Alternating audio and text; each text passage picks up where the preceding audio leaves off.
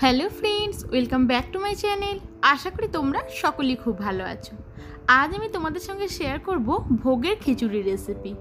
যারাই তোমরা কখনো ভোগ খেয়েছো, তারা কিন্তু অবশ্যই বুঝতে পারবে ভোগের খিচুড়ি কিন্তু একটা অদ্ভুত টেস্ট থাকে। ভোগের খিচুড়ির মধ্যে ঠাকুরের ফুল, ধূপ, ধুনোর গন্ধ মিশিয়ে কিন্তু একটা পবিত্র টেস্ট এনে দেয়। সেই ভোগের খিচুড়িরই একটা অথেন্টিক রেসিপি নিয়ে আমি তোমাদের সামনে হাজির হয়ে গেছি। সামনেই আসছে দুর্গাপূজা। দুর্গাপূজাতে কিন্তু অনেকেই নিরামিষ খান। তারা নিরামিষ দিনে কিন্তু এই রেসিপিটা অবশ্যই একবার ট্রাই করতে পারেন। তাহলে চলো আমরা প্রিপারেশনটা শুরু করে ফেলি। প্রথমেই আমরা গ্যাসের ওপর একটা কড়াই বসিয়ে দিয়েছি আর এর মধ্যে আমরা মুগ ডালটাকে ভেজে নেব। আমি চাল আর ডালের পরিমাণটা কিন্তু ওয়ান ইস টু ওয়ান অনুপাতে নিয়েছি। যেমন এক কাপ ডালের সঙ্গে এক কাপ চাল। ভোগের খিচুড়ি যখনই বানাবেন, পরিমাণটা কিন্তু চাল আর ডালের ইকুয়াল নেবেন। ডালটা কিন্তু খুব লাল করে আমরা ভাজবো না, হালকা নাড়াচাড়া করে একটু পাঁচ মিনিট মতো নাড়াচাড়া করে ডালটাকে নামিয়ে নেব। ডালটা কিন্তু ভাজা হয়ে গেছে, একটা বোলের মধ্যে নিয়ে নিয়েছি, এর মধ্যে দিয়ে দিয়েছি এক কাপ চাল। এটাকে আমরা এক ঘণ্টা মতো ভিজিয়ে রাখব। এক ঘণ্টা পর ফিরে এলাম। আবার গ্যাসের উপর কড়াই বসিয়ে দিয়েছি, এবার দিয়ে দিচ্ছি পরিমাণ মতো সর্ষের তেল। এখানে বড় চামচের চার চামচ সর্ষের তেল দিয়ে দিলাম। সর্ষের তেলটা দিয়ে একে একে আমরা সবজিগুলো ভেজে নেব। আমি কিন্তু এখানে খুব বেশি সবজি দেবো না, ফুলকপি আর আলু দেবো। এখানে চার পিস বড় বড় করে ফুলকপি কেটে নিয়েছি। প্রথমে ফুলকপিগুলো দিয়ে দিলাম তেলের মধ্যে। দিয়ে দিচ্ছি হাফ চামচ নুন যাতে কপিগুলো একটু নরম হয়ে যায়। কপিগুলোকে একদম নাড়াচাড়া করে আমরা ভেজে নেব। প্রায় এইটটি পার্সেন্ট মতো কপিগুলোকে আমরা ভেজে নেব। পাঁচ মিনিট মতো ঢাকা দিয়ে দেব। দিলেই কিন্তু কপিগুলো নরম হয়ে যাবে। কপি কিন্তু আমাদের ভাজা হয়ে গেছে। কপিগুলোকে এবার তুলে নেব। এই তেলের মধ্যে এবার ভেজে নেব আলু। এখানে একটা বড় আলুকে আমি মাঝখানে পিস করে চারটে পিস বার করে নিয়েছি। আলুটা আমি খোলা ছাড়াইনি, তোমরা চাইলে আলু খোলা ছাড়িয়ে নিতে পারো। হাফ চামচ হলুদ দিয়ে দিলাম, আলুটাকে কিন্তু লাল লাল করে আমরা ভেজে নেব।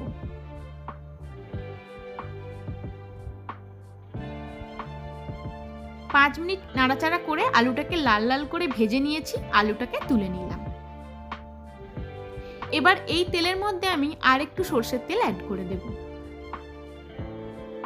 এখানে আরও এক চামচ সর্ষের তেল অ্যাড করে দিলাম। এবার দিয়ে দেব ফোড়ন। দিয়ে দিলাম দুটো শুকনো লঙ্কা, দুটো তেজপাতা। ফোড়নটা একটু ভাজা ভাজা করে নিলাম। এবার দিয়ে দেব গোটা জিরে।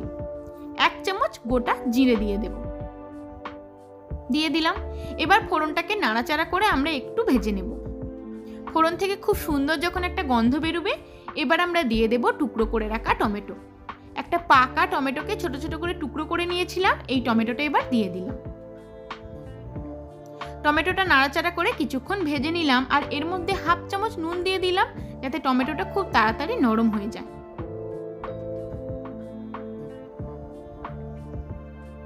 এবার দিয়ে দিচ্ছি টুকরো করে রাখা নারকেল। চাইলে তোমরা নারকেলটাকে আগেও ভেজে নিতে পারো। আমি টমেটো ভাজার পর নারকেলটাকে দিয়েছি। নারকেলটাকেও টমেটোর সঙ্গে খুব ভালো করে আমরা ভেজে নেব।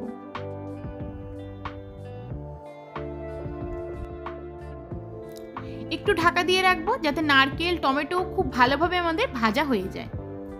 খুব ভালোভাবে কিন্তু ফোড়নের সাথে নারকেল, টমেটো ভাজা হয়ে গেছে। এবার একটা বোলের মধ্যে আমি এক চামচ শুকনো লঙ্কার গুঁড়ো আর এক চামচ হলুদ গুঁড়ো গুলে রেখেছিলাম। এই মিশ্রণটা এবার দিয়ে দিলাম।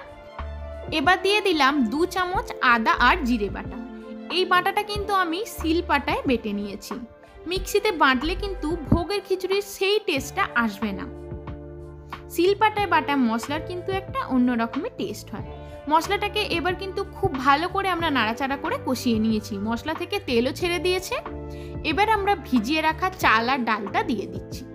চাল আর ডালটা যদি এক ঘণ্টা আগে থেকে ভিজিয়ে রাখা হয়, সেক্ষেত্রে কিন্তু খিচুড়িটা বানাতে খুব অল্প টাইম লাগবে। চাল আর ডালটা দিয়ে দিলাম। এবার চাল আর ডালটাকে মশলার সঙ্গে একটু আমরা ভেজে নেব। পাঁচ মিনিট থেকে দশ মিনিট মতো এটাকে ভেজে নেব। এটা যখন একটু শুকনো শুকনো হয়ে যাবে, কড়াই থেকে একটা আওয়াজ হবে, তখনই বুঝে নিতে হবে কিন্তু চালটা ভাজা হয়ে গেছে।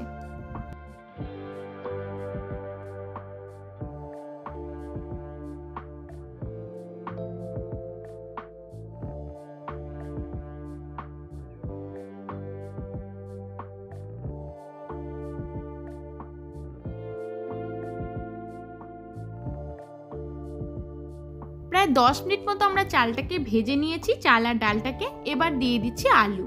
আলু কিন্তু আমরা সেদ্ধ করিনি, তাই আলুটাকে আগে থেকেই দিয়ে দিয়েছি। আলুটা এবার খিচুড়ির সাথে কিন্তু সেদ্ধ হয়ে যাবে। এবার দিয়ে দিচ্ছি পরিমাণ মতো জল। জল কিন্তু একবারই অনেকটা দিয়ে দিও না, এতে কিন্তু খিচুড়ির থিকনেসটা তোমরা বুঝতে পারবে না। আর ভোগের খিচুড়ি কিন্তু পাতলা হয় না, একটু গাঢ় হয়।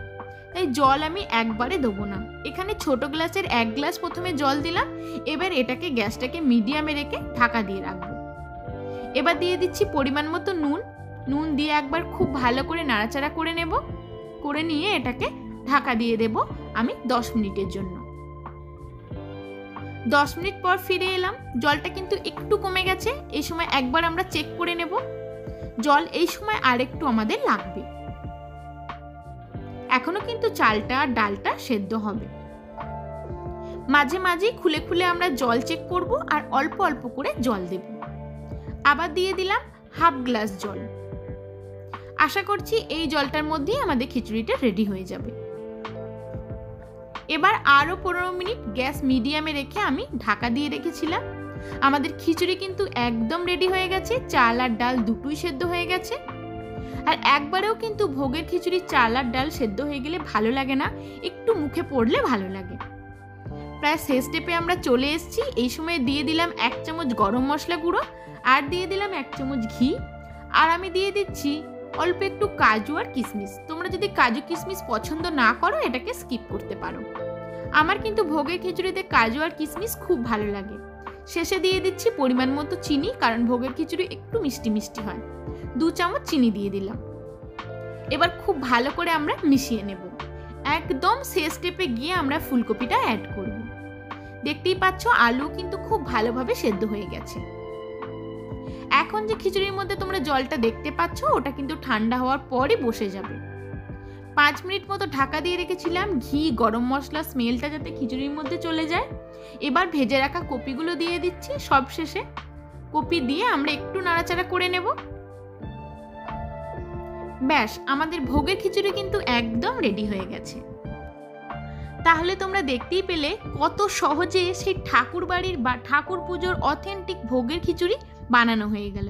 এটা কিন্তু তোমরা অবশ্যই বাড়িতে বানিও আর আমাকে কিন্তু কমেন্টস করে জানিও তোমাদের কেমন লেগেছে। যদি ভালো লাগে অবশ্যই একটা লাইক করো, নিজেদের ফ্রেন্ডস ফ্যামিলির সঙ্গে প্রচুর শেয়ার করে দিও। আর যেসব বন্ধুরা আমার চ্যানেলে এখনও নতুন প্লিজ বন্ধুরা চ্যানেলটা সাবস্ক্রাইব করে দিও আর পাশে থাকা যে বেল বাটনটা আছে ওটা প্রেস করে অল করে দিও। এতে আমি যখনই কিছু নতুন নতুন রান্নার ভিডিও আপলোড করব, সবার প্রথমে নোটিফিকেশান তোমার কাছে পৌঁছে যাবে। সবাই খুব ভালো থেকো, সুস্থ থেকো।